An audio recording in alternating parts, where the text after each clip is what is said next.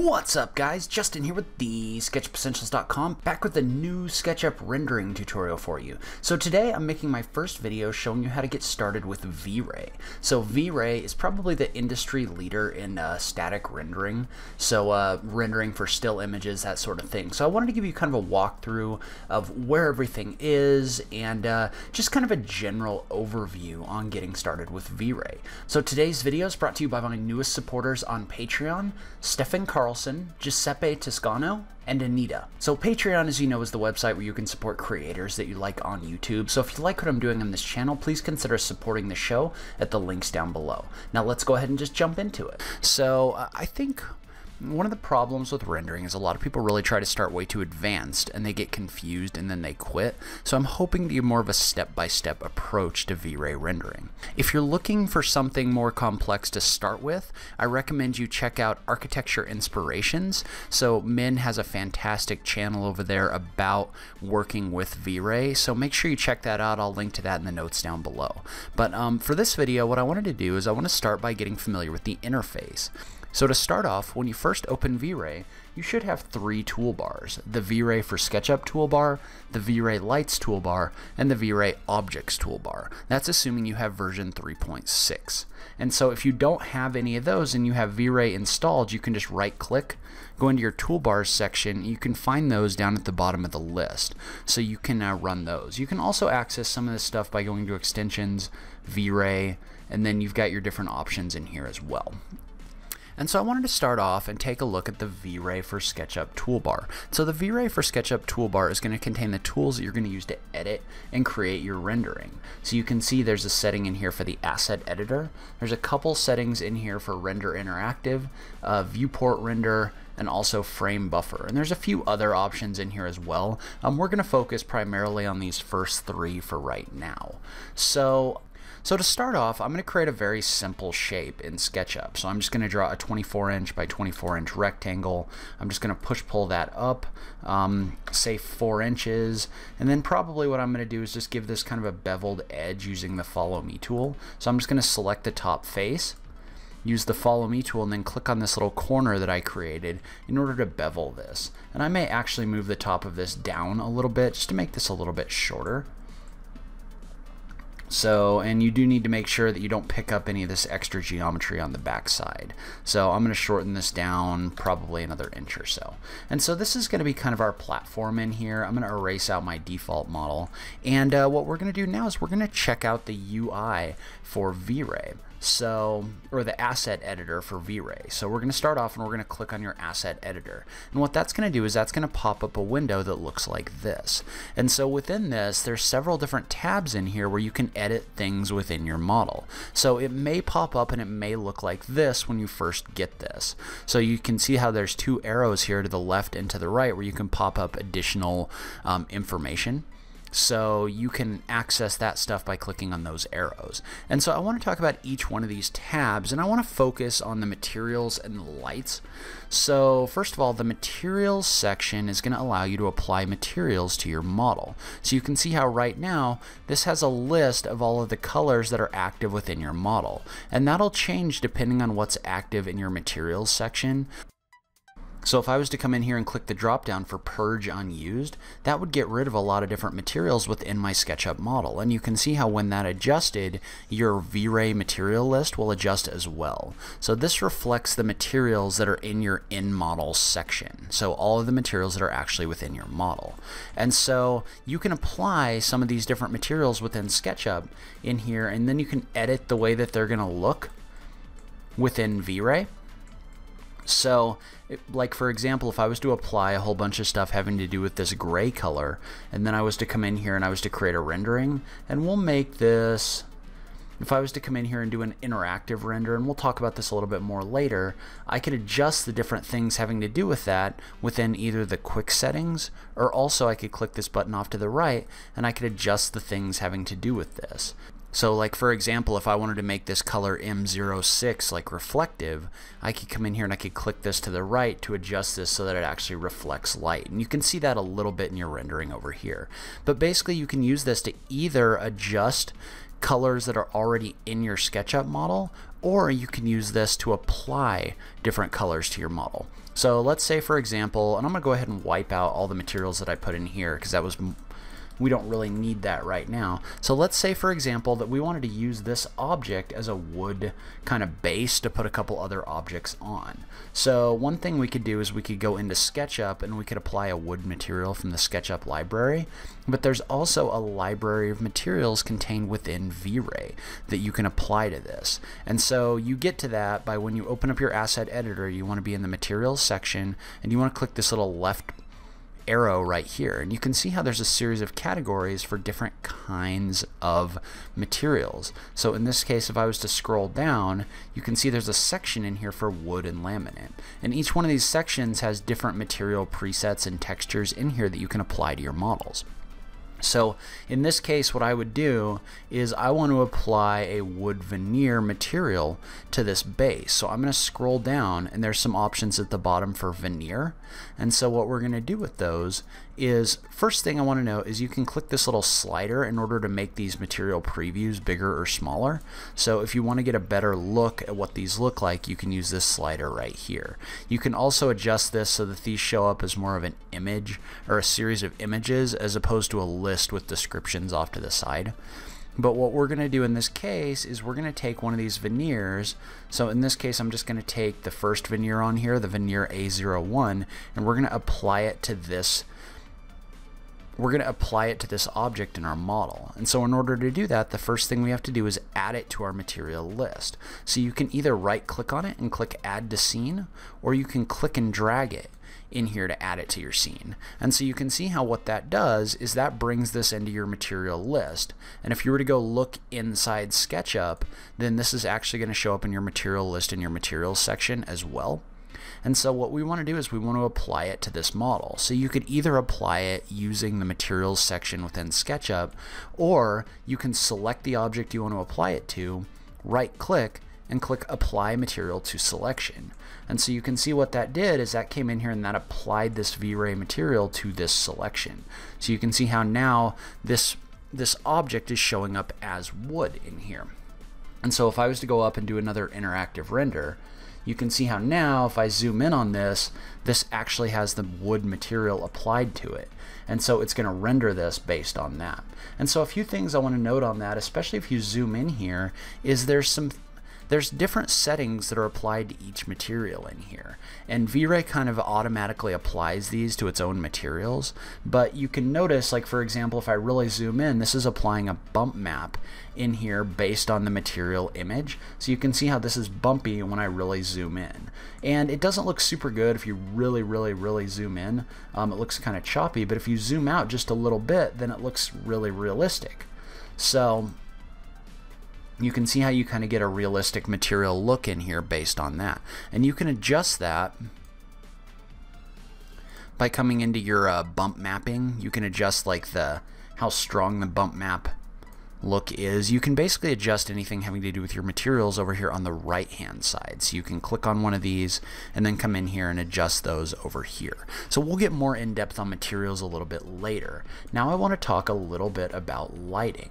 And actually before I even do that I'm going to create a few spheres in here and apply a couple different materials to those um, so we can kind of take a look at how those are going to look.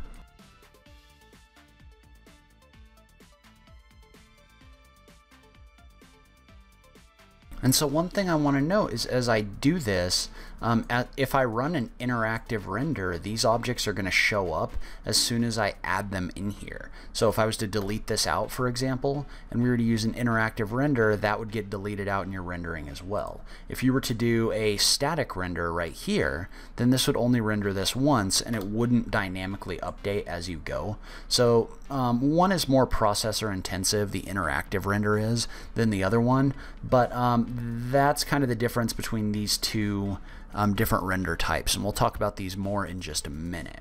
So what I'm going to do is I'm just going to come in here and I'm going to apply some different materials to each one of these spheres. So I'm going to apply a glass material to this one, maybe a car paint material, a gold material, and then we'll apply a polished chrome to this last one. So you can see how those have all been applied as materials um, within SketchUp. Well, now we're going to go back and we're going to run our interactive render again. So I'm going to click on this, and you can see how this is actually applying those different materials in here. So if I'm if I was to zoom in, you can see how this glass material is actually kind of refracting um, the light. So this chrome material is reflecting everything, as are these metal materials right here. And you can see how each one of them treats light a little bit different. So this car paint, for example, um, treats light different than this gold material. You can see how one of them kind of reflects a little bit more. This one more scatters the light. So you can adjust the way that light looks using using your different materials. And so now what I want to do is I want to apply a couple different new lights to our rendering. So to do that, we're going to use the V-Ray lights section, and then we're going to adjust those lights using the asset editor in the second tab right here. So you can see how if I was to click on my lighting right here, um, you can see how the only light within this um, within this section is the sun. And so you can adjust the brightness of the sun um, by adjusting some of these sliders in here. So you can make this brighter, you can make the sun bigger, you can do a lot of different things in here by adjusting that. Well in this case what I want to do is instead of adjusting the sunlight I want to add a couple different artificial lights to this to this rendering. So what I'm going to do is I'm going to go in here to the V-Ray lights section and you can see there's a whole bunch of different kinds of lights in here. There's spotlights, there's sphere lights, there's rectangle lights, a lot of different kinds of lights in here. And we'll get into lighting a little bit more in depth a little bit later. But for now, let's just come in here and let's apply a couple rectangle lights. And so basically what rectangle lights are is they're rectangles that emit light. So in SketchUp all they do is they just show up as kind of a white box. But as you stand them up you can use these to emit light. And so right now you can see how that's not really affecting our view very much because it's not a very strong light. And so what you can do is you can come over here in your V-Ray light settings and you can adjust the intensity. So you can drag this slider up in order to adjust the intensity of the light in here. And you'll notice if we kind of zoom around this a little bit that you're getting a little bit of a reflection of that actual light box in your materials. So you can see how as I zoom, you can actually see this light right here. And so you could either come in here and really adjust the intensity of these lights up um, in order for this to affect this. You could also go into your settings and adjust your exposure, which we'll talk about a little bit later. But in this case, what I'm going to do is I'm going to take this light and I'm going to make a copy of it. So all we're going to do is we're just going to select this light and we're going to use the rotate tool in copy mode. So select the light, tap Q, click in the middle, then you can set your base point, and then you're going to tap the control key to activate copy mode. So when you activate copy mode, you can see how this creates a copy off to the side. And so you can see how the lighting is starting to affect the different materials in here. And we'll probably bring the intensity level down. Um, so in this case, I'm probably going to bring the intensity level down.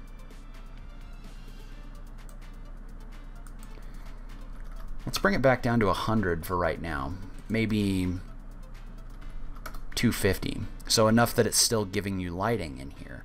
But then one thing you'll note is right now you've got these big ugly lights in the background. Well, you don't really want that. Well, one of the settings you can adjust within the lighting section for each light is you can go down into the options and you can check the box for invisible. And so when you check the box for invisible, that means that those are actually in here emitting light, but that V-Ray is not actually going to see them as geometry, so it's not going to render them as geometry. So you can see how now, if I was to kind of rotate around here, you can see how these have the reflections of those lights inside of them without actually having the lights themselves showing up within your rendering. And so then the other thing you could do, and I apologize, I've got like a million windows on my screen. The other thing you can do is you could apply a different kind of light. So let's say, for example, that I wanted to apply a spotlight. So all I did is I just came in here and I selected spotlight and then I set a point. And then what I'm going to do is I'm going to move that up above so that it's pointing down on your on your lighting. And again, we'll get more in depth on lighting a little bit later. But one of the things you'll note is with this spotlight, it's got this circle in here for the actual light that it's uh, providing. And so you can actually adjust the width of that by going into your lighting settings and selecting that light. And you can adjust the cone angle. So you can see how the cone angle basically adjusts how wide that light is going to be in this case. So you can also adjust the intensity. So you could bring this down to something a lot lower or you could bring it up to something a lot higher. And so that's one thing to note about rendering in V-Ray is you kind of have to think like a photographer and really rendering in general. You have to think like a photographer in the sense that you have to think about how your lighting, how your scene's going to be lit. So you can see how, like, for example, if I was to come in here and I was to turn the sunlight off and just have these artificial lights in here, then things get lit a little bit different than if the sun is actually on. So you have to think about all of those things when you're working within V-Ray. But you can see how these materials are reflecting all of your different lights in here, so they're reflecting your spotlight as well. And maybe what we'll do is we'll bring our rectangle lights down a little bit so we're not getting that extra glare in the background. But this kind of gives you an idea what this can do. And so there's also a section in here for adjusting V-Ray geometry objects. So these are objects that are in here. This is your third toolbar that allows you to add things like proxies or fur. So you can use that to create things like grass. Um, you can also add things like infinite planes. So like for example, if I wanted this whole thing to be sitting on a plane, I could add an infinite plane object in here. And you can see how now there's a plane in the background all around here. And you could adjust, in this case, you can't really adjust the settings for an infinite plane, but you can see how that would show up in the V-Ray geometry section. Now let's talk about your settings section within your asset editor. So within your asset editor, you can adjust things like if your rendering is going to work with your CPU or your GPU. So you can use your graphics card um, in order to carry the load of rendering instead of your uh, computer's processor. You can also adjust things like your camera settings. So let's say, for example, that I wanted to brighten this scene up. A lot of the time you don't want to brighten your lights when you do something like this, you want to adjust your exposure. And so you would go into your camera tab down here, and you can either use kind of your standard camera settings, or you can adjust this to advanced settings to set more like actual shutter speed like a camera. But you can see how if you increase your shutter speed, then your image is going to get brighter. And you're going to use this a lot for like interior type renderings um, to brighten them up. So you can see how I can adjust how bright the effects are and everything else within my rendering using these settings. So you can also adjust the size of your render output. You can adjust some of your uh, your background settings, like what kind of environment in, is in here. There's a lot of different things you can adjust within this section as well. And then the last thing I want to talk about just real quick is the different kinds of render settings in here as well as some of the settings in the actual render window itself. And so what you can do is within the asset editor there's two options. Well there's really three options but in this case we're going to focus on these first two. So we already talked about you can either do a static render with V-Ray by clicking on clicking this little drop down and selecting the first option and you can see how whenever this uh, little red box is in here, that means that your rendering is actually working. So you can click on that again to turn your render off. So that's just a static rendering. And then the second option is your interactive rendering, which is your rendering that's going to update with whenever you adjust your scene. So you can see how when I turn on an interactive render, this is changing with me. So, and then within your V-Ray image itself, there's also a ton of different settings you can change in here. So if I maximize this, you know what, I'm not going to maximize this. So you can adjust everything from your, you can turn on and off different RGB values, you can do an alpha mask, you can turn this to black and white. There's a ton of different settings in here that we'll get into some of them in the future. Um, but you can do things like a region render. So I could set this where this would only render this object right here if I was to come in and adjust it. So you can see how if I rotate around, it's only going to adjust different things within this box that I drew. So this is really useful for like swapping out materials. So like for example, if I was to come in here and I wanted to just test If I wanted to just test what it would look like to swap out the material in this object, then you could come in here and you could set a region render. And then you could apply a new material to this object. And you can see how what this would do is this would only render the change that happens within the box that we drew. So this wouldn't go in here and adjust everything, which can be a real time saver when you have like really in-depth renderings. You don't necessarily want to adjust everything because it'll take forever to update. And then there's also a whole bunch of options down here for different things that you can do as well. So you can use things like forcing the color clamping to see areas where your models or where your lighting's kind of washed out or too bright. So there's a ton of different things down here that you can mess with as well. So I don't want to get too far in depth on that right now. I more wanted to give kind of an overview of the way everything works. So the last thing I'm going to do is I'm just going to come into my settings in my asset editor and I'm going to make this a larger image. So in this case, we'll do a 1280 by 720. And you can see how that adjusts the size of your image when you do that. We're going to let this render out a little bit. And remember that the larger your image is, the longer it's going to take to render. And then once we have an image that we like, we can just come up here and use the save button in order to save a copy of our image. So one of the things I'm trying to do with the V-Ray tutorials is really make them kind of a step-by-step start to finish type thing because I feel like a lot of the tutorials out there just kind of dive in and get way into detail and they don't even teach you where everything is. But leave a comment below, let me know what you thought. Was this helpful to you at all? I just love having that SketchUp conversation with you guys. Also leave a comment, let me know uh, let me know what kind of V-Ray tutorials you'd like to see in the future. If you like this video, please remember to click that like button down below. If you're new around here, remember to click that subscribe button for new SketchUp content content every week. If you like what I'm doing in this channel, please consider supporting me on Patreon. Every little bit helps, even if it's only a dollar a month, so make sure you check out that link in the notes down below. But in any case, thank you so much for taking the time to watch this. I really appreciate it, and I will catch you in the next video. Thanks, guys.